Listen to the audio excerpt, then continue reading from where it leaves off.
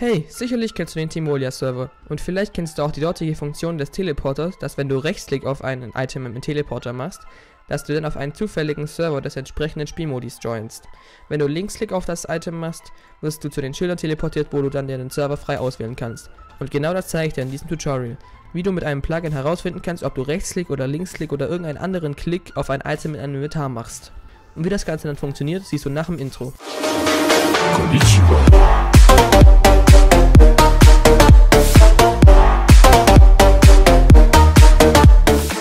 Okay, und da ein Timolia-Teleporter mit Rechts- und Linksklick, der auf verschiedene Server führt, viel zu aufwendig wäre in diesem Tutorial zu zeigen, zeige ich euch hier nur mal die grobe Funktion und ihr könnt sie dann nach, je nach Belieben bei euch dann einfach anwenden. Für das Ganze habe ich hier schon mal eine neue Klasse wieder angelegt und den Listen implementiert, denn wir brauchen ein Event und zwar das Inventory Click Event. Click Event. Inventory Inventory Click Event. Okay. Und jetzt kommen wir gleich zu der ganzen Sache, die wir hier jetzt benötigen werden. Ähm, jetzt machen wir noch, nee, ich habe mir noch, machen wir es lieber anders. Wir machen jetzt erstmal, ähm, dass es nicht bei jedem Item dann sein wird, sonst wäre das äh, für die zukünftigen Tutorials ziemlich äh, blöd, sag ich mal. Machen wir einfach mal ähm, gettype.equals material. Sagen wir mal eine Schüssel, bowl. Okay. Das Ganze funktioniert jetzt nur für die, ähm, für wenn man im Inventar auf eine Schüssel klickt. Ähm, also e.getCurrentItem nimmt das Item, das wir auf das wir klicken im Inventar. .getType macht das zu einem Material und dann .equals fragt ab, ob das, was in der Klammer hier drin steht, das gleiche ist wie hier. Und wir haben hier Material.bowl, also wenn wir äh, auf eine Bowl klicken, also auf eine Schüssel, äh, kommen wir hier weiter. Jetzt kommen wir zu dem Ganzen, was wir ähm, haben wollen, nämlich den ClickType. Den gibt's ähm, ja, in diesem Event nämlich, den Click-Type, äh, Click-Type, hier so seht ihr es gleich. Ähm, nennen wir ihn mal Click. Ähm, ist gleich e.getClick. So. Und jetzt, äh, äh, das ist der ganze Click-Type, also das, was, äh, wie man auf das ähm, Item klickt, ist ein Click-Type.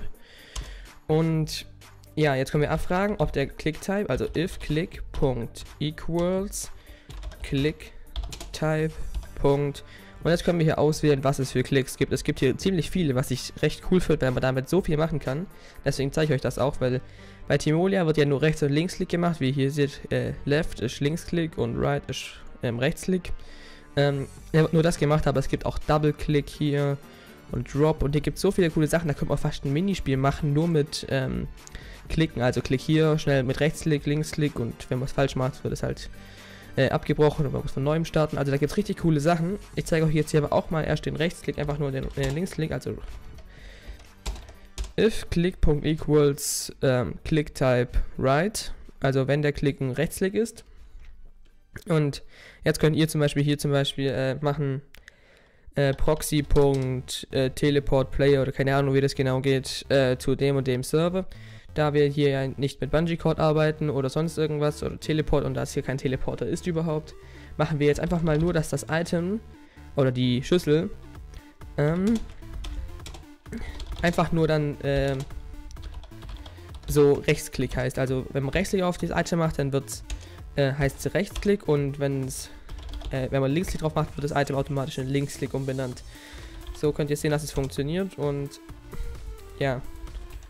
So, ähm, rechts, Klick. So, e.get current item. Punkt, äh, set item meter, meter. Und das Ganze noch, canceln wir noch das Event, dass man das nicht noch unnötig in der Hand hat. So. Okay, also nochmal kurz erklärt. Ich habe hier jetzt die Item Meter festgelegt ähm, und dann und zwar die Item Meter Meter ist äh, die Item Meter von dem Current Item. Mit der Item Meter werden die ganzen Sachen bestimmt, wie der Name von dem Item, die Lore von dem Item und so weiter. Dann habe ich der Meta den Display Name Rechtsklick gegeben und dem Item, Current Item, das auf was wir geklickt haben, äh, diese Item Meter gesetzt, die wir hier erstellt haben. Okay. Hoffe, es war jetzt verständlich. Jetzt machen wir einfach hier else, kopieren das Ganze hier nochmal rein und machen left. Wir machen hier raus. Links, Klick. Ja, das war's dann eigentlich schon. Das war ein recht kurzes Tutorial, schätze ich mal. Also, nochmal hier erklärt. Ähm, äh, beim Inventory Click Event, also wenn ich im Inventar auf irgendwas klicke, dann, ähm, wenn das eine Schüssel ist, auf die man im Inventar klickt, und dann, wenn, ein Rechtsklick auf, äh, wenn man mit einem Rechtsklick auf das Inventar, äh, auf das Item klickt, wird das Item zu Rechtsklick umbenannt. Wenn man es mit Linksklick macht, wird es zu Linksklick umbenannt. Wir könnten jetzt auch noch machen mit Mittelklick, weil hier, wie wir hier sehen, beim Click-Type gibt es hier ja noch ganz viele andere Number Key, Right, Shift Right, Shift Left, äh, Uncount, Double, Creative. Ähm, da gibt es ja so viele. Und deswegen, ähm, ich habe hier nur mal das, die zwei als Beispiel genommen. Und ja, ihr könnt damit jetzt ganz viel eigentlich anstellen und ich hoffe, ihr werdet es auch ganz viel verwenden. Jetzt exportieren wir das Ganze nochmal kurz, um es ähm, kurz zu zeigen, dass es auch funktioniert. Plugins. Ja, nee, halt so rum. Ersetzen. Server starten, Minecraft starten. Okay, falls ihr übrigens wieder mal weitere Vorschläge habt, was ich programmieren könnte, dann einfach in die Kommentare schreiben, weil ähm, auch nicht zu aufwendige Sachen wie irgendwie ein Minispiel oder so. Als Special kann ich mir sowas nochmal vorstellen, wurde mir ja in die Kommentare geschrieben unter dem letzten Video, dass ich Endergames programmieren könnte. So als Special, aber äh, wäre das dann vielleicht auch wirklich möglich, aber so mittendrin einfach mal so wäre das dann schon zu aufwendig. Und ja, dann direkt verbinden. Und so. So, ich habe mir schon mal hier eine Schlüssel rausgesucht. Oh. So. Ähm, ich habe es ja vorhin schon mal getestet. Wenn ich jetzt hier Rechtsklick drauf mache, heißt das Item Rechtsklick, Linksklick, Linksklick, äh, Rechtsklick, Linksklick, Linksklick, Rechtsklick.